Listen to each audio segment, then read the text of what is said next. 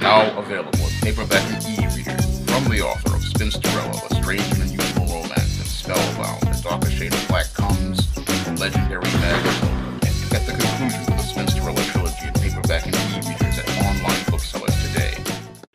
My new novel, The Legendary Mad Matilda, is all about Matilda Crowley's journey as she transitions from the industrial rave scene of the goth subculture to corporate America.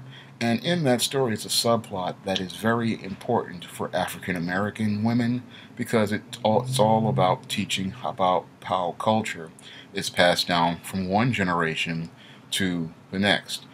Now, one of the key themes in the legendary Mad Matilda was inspired by an old African proverb. And that old African proverb states that a race can rise no higher than the moral position of its women. And when it comes down to the moral position of the black woman, it's a very important one because as the mother, she is the first teacher of culture. And as the first teacher of culture, she is the woman who prepares her daughter with the values and beliefs that will allow her to not only enable herself to survive, but enable future generations to survive because as she goes, so goes the race. And in the legendary Mad Matilda, Matilda Crowley's mother Muriel is making efforts to help her daughter transition from her life in the industrial rave scene to corporate America. And she's doing this because she understands that there are a lot of pitfalls and hazards in corporate America for black women, and she wants to help her daughter avoid many of those pitfalls in corporate America so that they don't derail her life in the way that it was derailed when she wound up being arrested at her last rave, Vamp Jam 1995. And that Vamp Jam 1995 is where Muriel finds out about Matilda's secret life as Mad Matilda, the industrial rave promoter. And she's not happy about it and she literally, after they get her home from the um, central booking, literally beats her daughter like she was a small child because she's just angry about this. However, after she finds out all this and deals with this whole arrest issue, she then sits down with Mrs. Purvis, who then explains to her that this could be a blessing in disguise. Now, a lot of people would think that your daughter getting arrested being something horrible. However, this is a blessing in disguise. And the reason why it's a blessing in disguise for the Muriel character is because she really has to sit down and think about her daughter in corporate America because corporate America for African American women is way worse than anything anyone would experience at one of these industrial goth raves. Now, these industrial goth raves, they are parties, you know, and raves are usually parties where anything goes, but corporate America is 10 times worse than any industrial goth rave, and you need to be prepared to survive in corporate America. And as the Matilda Crowley character begins picking up the pieces of her life, after this arrest, she starts to realize that she needs her mother's help if she's going to transition into corporate America because corporate America, again, for black women is filled with pitfalls and traps. And one of the most dangerous pitfalls that most black women fall into is their perception of white men.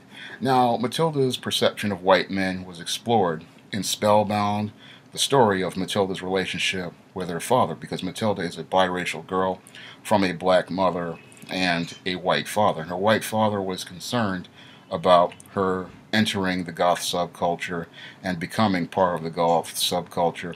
And that story was about her baby bat years and her relationship with her father in the goth subculture. And that story transitions into this one because this story is about Matilda's relationship with her mother and how her mother helps her by teaching her about the culture of corporate America as it relates to black women. Because as it relates to black women, it's a very different world than it is for black men. Because as the corporate world is for black men, it's a hostile environment against them.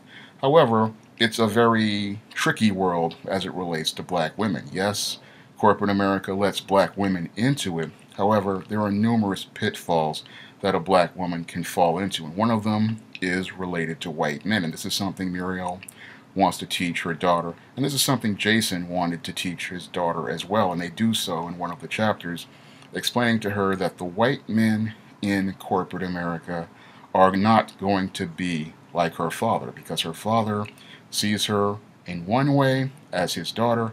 However, the men, white men in corporate America, are not going to see her in the exact same light. And they're not going to see her as some sort of quote unquote person from the rainbow.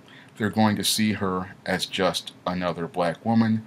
Moreover, some of them are going to see her as some sort of sexual object and someone they can use for easy sex.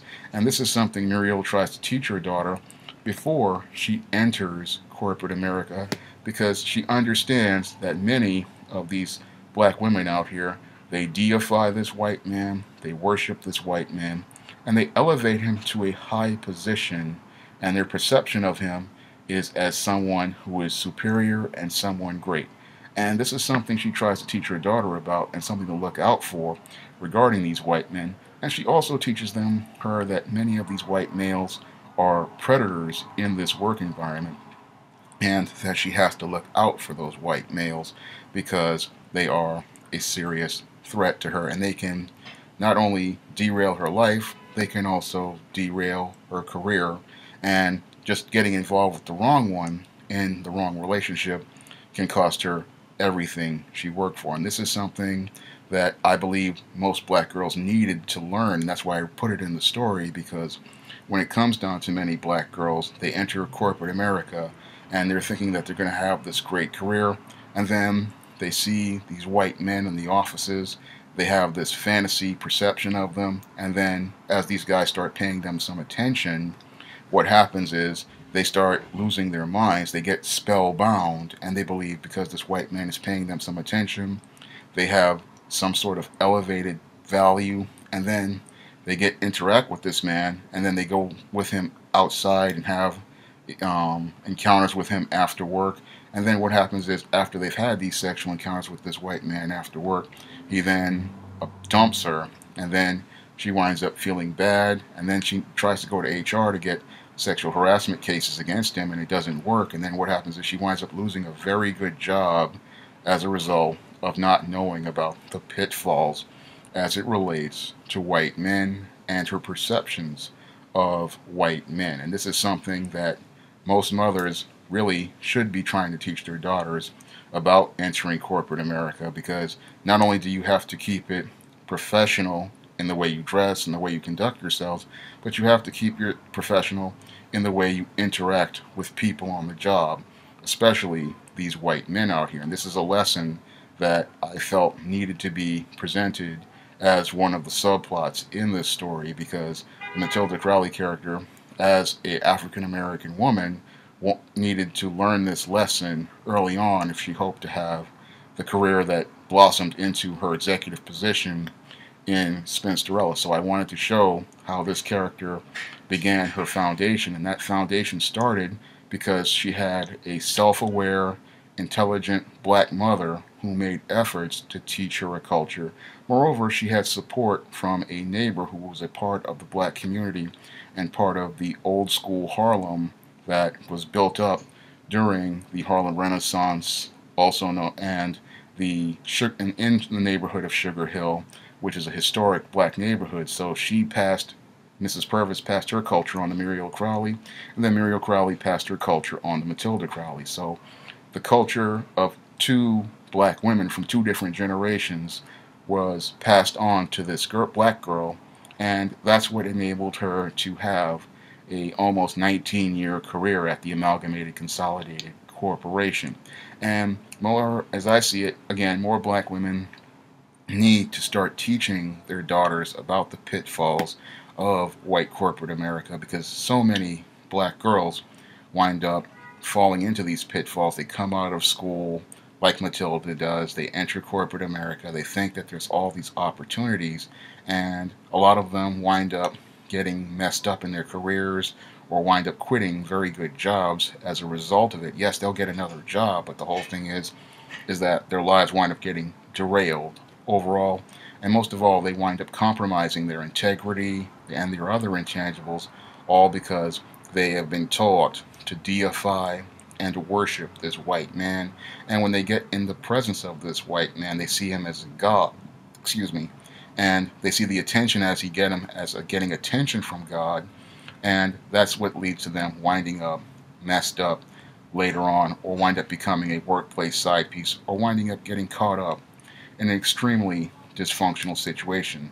But Muriel Crowley, in the after seeing her daughter um, get arrested at this rave, it really she really turns takes this opportunity to take her daughter and prepare her for her future because she takes this what could be considered in many cases a tragic situation and she turns it into a blessing because this tragedy is one of the things that helps the Matilda Crowley character grow and it helps her not only understand the pitfalls of corporate America, but it also helps her to understand several of the pitfalls of dealing with the business aspect of the club scene, of the goth subculture, and that goes on later on in the book. And it helps her understand how to deal with not only white male predators, but it also helps her deal with black male predators. And I really give you a really balanced picture of these predators throughout Legendary Mad Matilda and how they look for females to exploit and take advantage of. And it's all in this story really is about Matilda Crowley learning a bit more balance about the goth subculture because she's in some way spellbound by the club scene in the same way black people are spellbound by the idea of fitting into the black box. She really wants to fit into the goth box of the rave scene instead of seeing the broader picture of the goth subculture. And her coming out of the goth subculture for a while as she deals with the crisis from this arrest and then later on trying to transition into a corporate job helps her get some perspective on the goth subculture and in her adolescent phase and helps her to see a bigger picture as related to the goth subculture. And it also gives her a bigger picture as related to the black community. And it helps her really establish what she wants to do with her life, what direction she wants to go in, and that's why this book is really a major part of the Spinsterella trilogy, and it's a part of the trilogy you really need to pick up because this is the book where the Matilda Crowley character makes that transition and she starts laying that foundation for her future and it leads into several major events in Spinsterella and leads to many plot points in Spinsterella. So this one you really need to pick up, and you can pick up the legendary Mad Matilda at Amazon.com by clicking the link in the description box or other online booksellers. It's a great book, and I really think you'll enjoy it. Now available in paperback and e-readers, E-Steam Ascension, The Devil's Diva reaches a turning point in her life with this powerful E-Steam series story. Get E-Steam Ascension at online booksellers today.